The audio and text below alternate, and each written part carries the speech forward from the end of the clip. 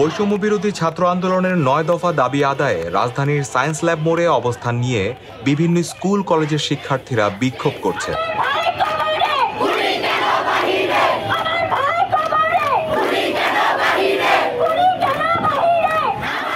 শনিবার দুপুর বারোটার দিকে দুই শতাধিক শিক্ষার্থী সেখানে অবস্থান নেয়। বিক্ষোভকারীদের অবস্থানের কারণে ওই এলাকায় যানবাহন চলাচল দুপুর সোয়া একটার দিকে বন্ধ হয়ে গেছে। সেখানে বিপুল সংখ্যক পুলিশ মোতায়েন রয়েছে।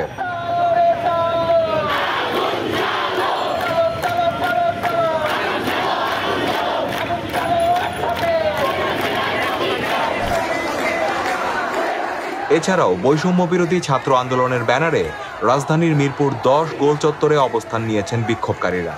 মুহুর্মুহু স্লোগানে প্রকম্পিত মিরপুর দশ দুপুর একটার পরে সেখানে যান চলাচল বন্ধ হয়ে যায়। সাতজন শিক্ষার্থী নিহত হয়েছে। আমরা প্রতিবাদ করব। প্রতিবাদ করব। আমার ভাই মরল কেন? আমার ভাই মরল কেন?